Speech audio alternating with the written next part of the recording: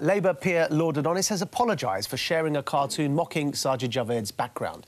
It showed the new Home Secretary with the caption, I just want to settle in, get organised, then deport my parents. Sajid's father has passed away. Uh, by his own rhetoric, Lord Adonis is a privileged white peer. To racially humiliate the son of a Muslim immigrant merely for choosing a different political party is racism nobody's left-wing status immunises them from racism. And this isn't on, the only example of racism directed at Javid from the left. He's been called an Uncle Tom and a coconut, insults designed to racially shame minorities who think outside the left-wing box. Such abuse encourages political apartheid. If you call for integration, social mobility and diversity, you cannot also object along racial lines to political diversity. Now, I've never voted Conservative in my life, uh, but the left don't own minorities. So ditch the colonialism, thanks. We can think for ourselves. Maajid, I completely agree with you. I think that racism, wherever it occurs, is despicable. And uh, let's just hear from Andrew Adonis, who did comment on that tweet, and this is what he said. Uh, on reflection, Sajid, I think the cartoon is too personal and in poor taste. I have deleted it.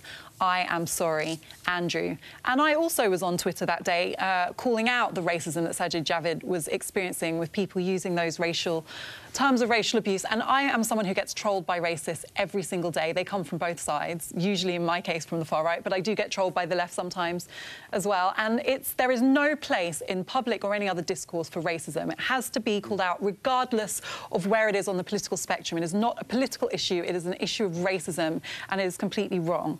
Um, in terms of the bigger issue you raise about this idea that the left have a monopoly on the black vote, I agree with you. I think there is an imperialist attitude in some parts of the left that historically the left have enjoyed the vote for the majority of black and minority ethnic people. And it's quite an interesting phenomenon because if you think about it, so many ethnic minority communities in this country do have values that emphasise enterprise, faith, uh, strong families, social mobility. You know, they are they are in some ways traditional small c traditional yeah. conservative values. And yeah, yeah. the question is not why aren't there uh, black conservatives, but why aren't there more? And that is because the Conservative Party have failed to have policies and rhetoric that appeal to people from minority backgrounds, even when they are natural conservatives. But, uh, and this Windrush scandal is the latest example of something that makes many minority people feel alienated from the Conservatives. So I think that is an, a, a problem for the Conservatives. And I absolutely agree. We should not look at ethnic minority people with this single narrative idea. They're all some lump who are left wing. So, That's absolute so nonsense. What is, what has actually highlighted all this is you've got Sajid Javid,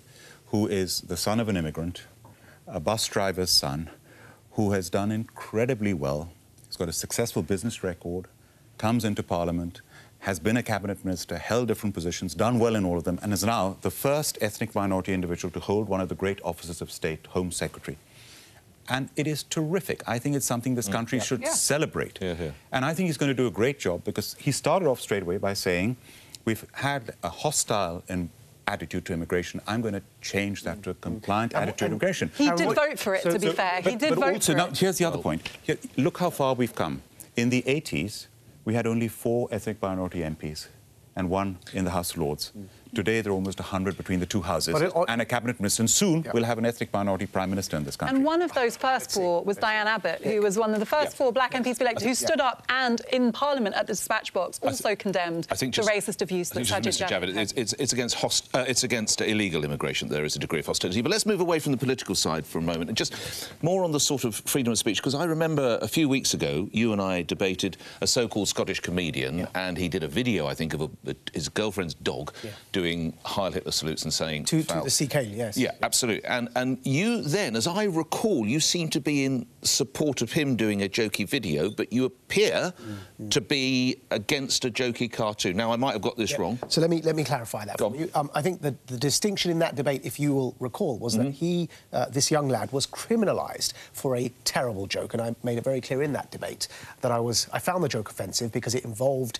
uh, shouting "Sieg Heil" at this dog and making it perform Nazi salutes. I didn't think it was funny. But my point was, nobody should be criminalised for a bad joke. It would be the equivalent of Lord Adonis being criminalised mm, for this bad okay. tweet. And so I think that's slightly different. What I'm talking about here is I was offended at that and I'm Final offended point for me yeah. is, is is the cartoon racist or is it sentiments racist in your No, view? it's the idea that it's the idea that one's skin colour defines what one should think politically, and the, the, the notion, the tendency among some on the left uh, that uh, they own or they monopolise the ethnic minority vote. And, and let me show you Jeremy Corbyn's tweet Okay, to demonstrate sure. I- because I find this incredibly racially patronising. This tweet, He's, he said that um, only Labour can be trusted to unlock the talent of black, Asian, and minority ethnic people, and it's that kind of you know, there's a But bigotry of low expectations. But that is so wrong. Yes. So sad. Yes. That 'Cause you're here not we are, Labour peer, are you? 19. I'm, I'm an independent. Yeah, of course, indeed, But, yeah. but, uh, but it's, it's so- it's so sad. The early 1960s. We're talking about over 50 years ago. That Martin Luther King Yeah. says,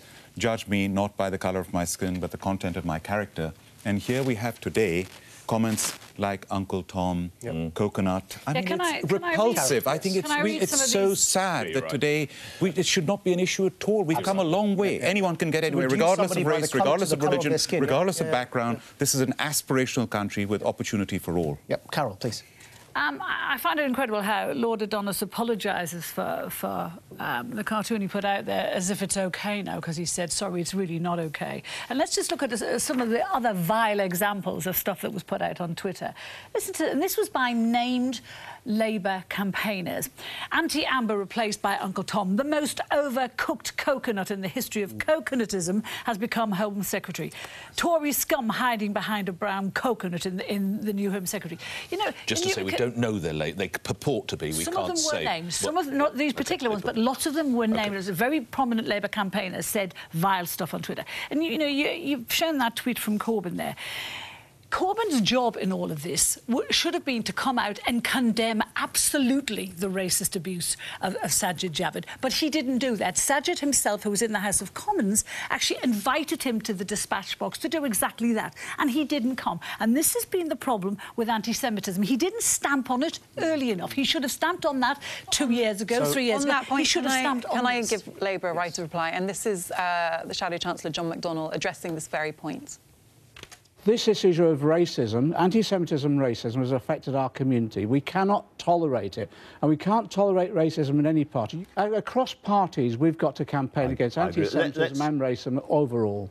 You know, I um, think anybody who's genuinely committed to the struggle against racism needs to call it out wherever it happens. I am somebody who has never voted Conservative, but I'm happy to say that I stand beside Sajid Javid when he is defending himself against racist abuse. I also want us to look at the Conservative Party, where there is also racism. This isn't just an issue for the left. We had a, a, a councillor who, who uh, shared a horrific racist joke, being reinstated to win the council, and then congratulated by the chair of the party. So this is a problem in society. And you know, just listening to you, Karen, I, I hear you, but in a way, I feel like you're. This is a. We live in a country where racism is pervasive. Can I- this is not the I- only place it manifests. It is a huge so problem there is for all no of us. place for racism. But I also, if you flip this the other way, look at the celebration of what migration and what ethnic minorities have brought to this country. It's less than 15% of the population of this country.